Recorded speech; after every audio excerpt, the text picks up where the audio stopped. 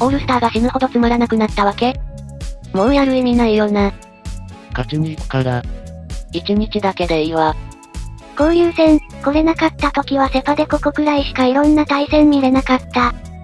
これに尽きる、やるならオールスターの後にしろ。オールスターより交流戦の方が面白いからええわ。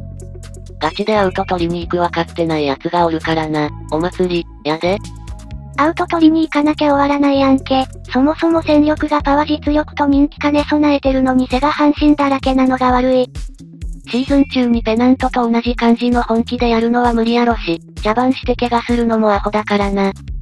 マジレスすると交流戦のせいやろ。違うリーグの相手と対戦する特別感がなくなった。面白かった時代っていつだよ。ヘラヘラ直球勝負してた頃なのか、盗塁の数で MVP 争いしてた頃なのか。オールスターで見たい投手が山本佐々木くらいしかいないわ。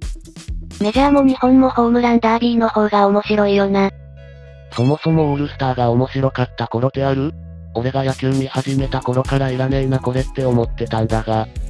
言うてほとんど思んないやろ。昨日はネタになっただけおもろかったわ。見たい選手からホームランでまくったし。毎年言われてるわつまらんて。